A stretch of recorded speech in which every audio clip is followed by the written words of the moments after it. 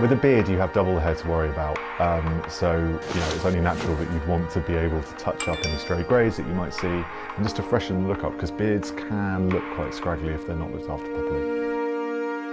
The Just for Men colourant is super easy to use, everything's in the box. Simply mix the product, you then apply it to your beard and touch up stray greys, leave for five minutes, wash it out, pat dry, and you're good to go. Pinstripe tailoring is really big for spring. Um, the style is really flattering uh, on most frames uh, and it can look really, really sharp, whether it's worn with a roll neck and a sweater, which I kind of prefer, or with a traditional shirt and tie.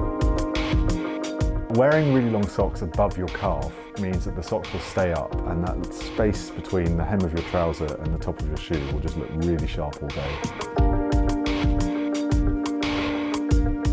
When it comes to accessorising with the pinstripe tailoring, I would say because the pinstripe makes quite a statement on its own, you want accessories in similar hues, so a cashmere scarf, a tote bag or an umbrella, all in that kind of similar shade and it will just look like you know what you're doing but won't be too much of a statement.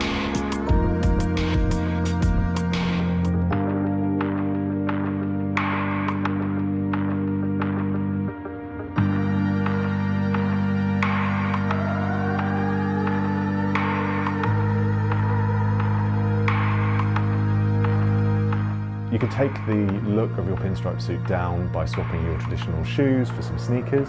Um, you could even take the jacket out and wear it with a really nice suede Harrington um, for a low-key after work look.